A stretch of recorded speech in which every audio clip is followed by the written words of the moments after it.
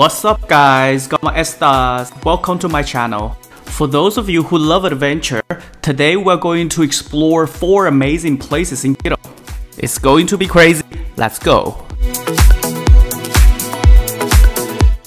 After a short 45 minutes of flight from El Coca, we landed in Quito. Completely different from the rainforest, Quito is so busy in every way. We kinda missed the convenience of living in the city, so we started exploring the city right away. Basilica del Voto Nacional, or Basilica of the National Vow. Like every visitor to Quito, this landmark is our first stop.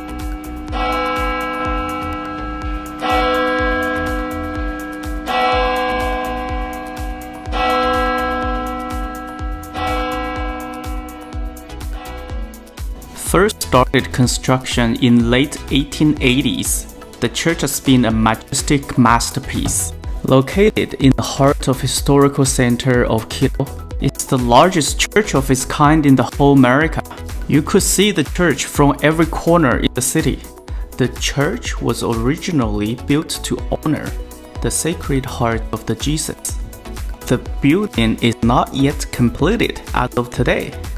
It's a UNESCO site definitely an Ecuadorian icon.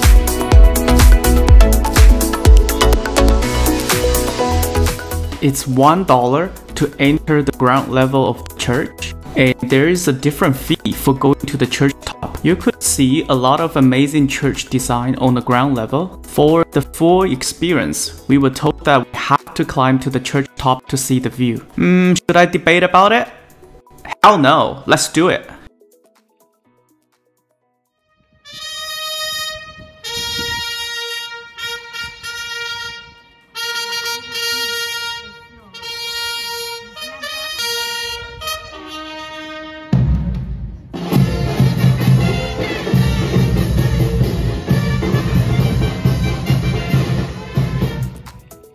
It was kind of cool to see a ceremony live. We continued to head to the top.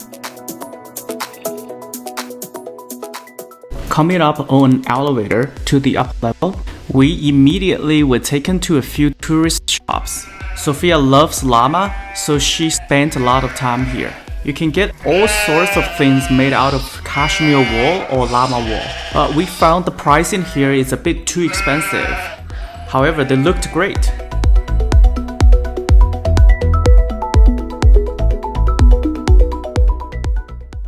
Coming out from the stores, we immediately saw this. Though the weather wasn't great, the view of Quito from here was absolutely breathtaking.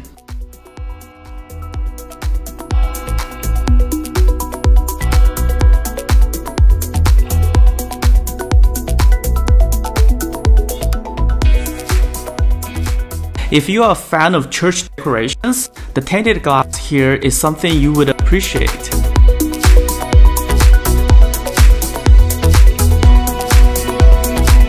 We continued to head towards the entry for church top.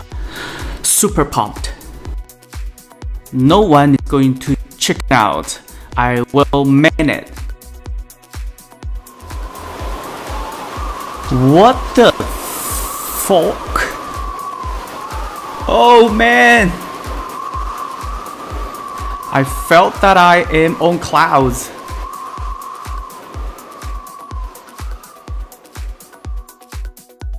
In case I didn't tell you, I am afraid of heights.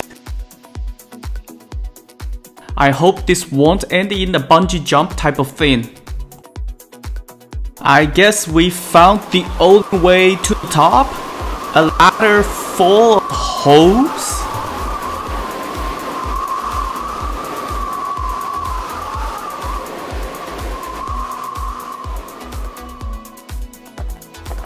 Oh, I could use some help here.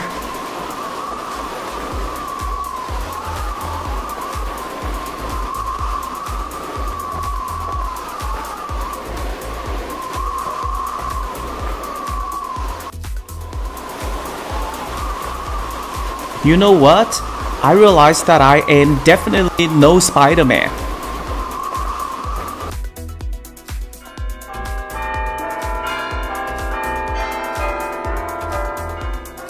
Hey, this looks awesome.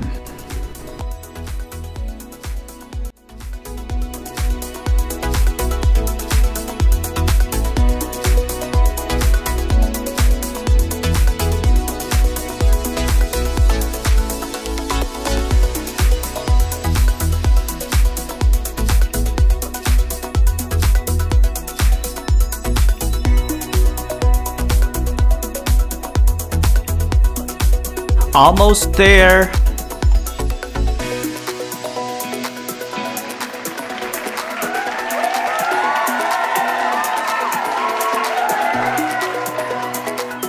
The view from the top made everything worth it.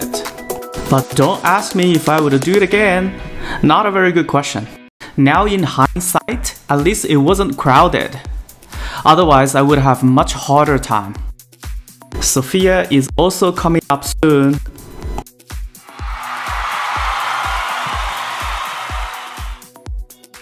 Yes, so that was Basilica of National Vow. It's a must-visit site in Quito. Just so much to see.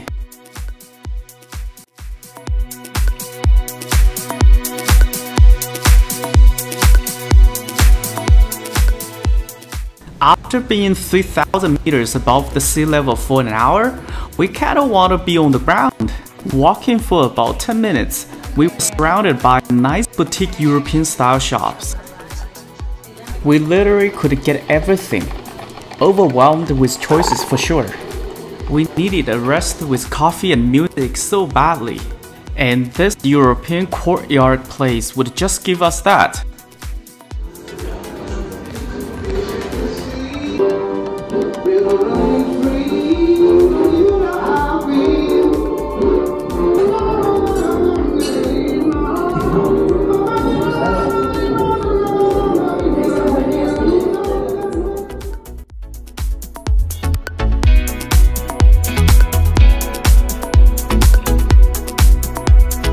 It was a great break. Now being caffeinated and being sugar high, we are ready for our next stop. In historical center of Quito, you don't need to do a lot of planning.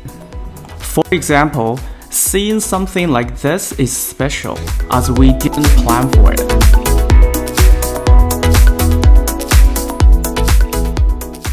The whole Old Town Quito is a good mix of modern vibe with history. You could easily grab a nice handmade gelato and stare at something over a hundred years old.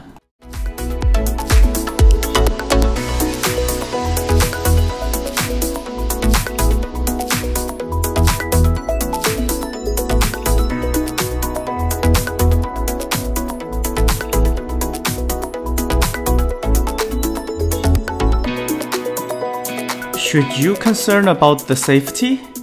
I wouldn't over worry about it, but always being cautious is a good move. We did hear that in historical center there might be pocket picking, but luckily we didn't experience that.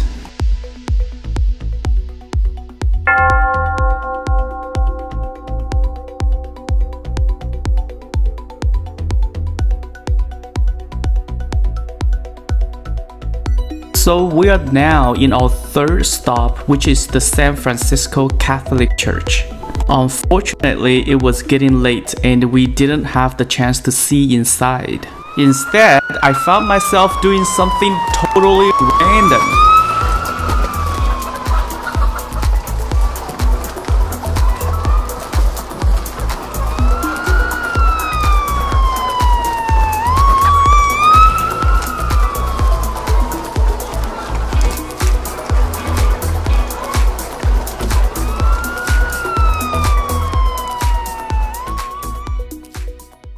Sorry pigeons, I can't help it.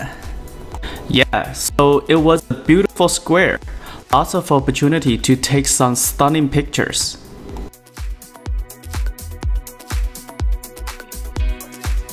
By the way, it's totally safe and affordable to jump on a cab in Quito. We never had to bargain as we found that most drivers would just give us the same rate.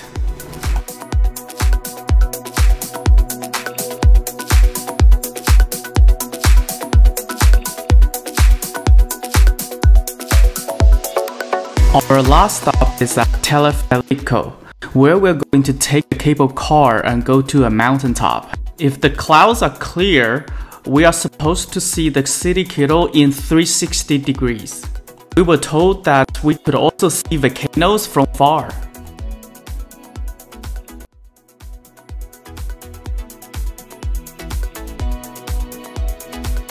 It was a 15 minutes cable car ride and we are now on the mountaintop. It didn't take long for us to feel that we needed more air.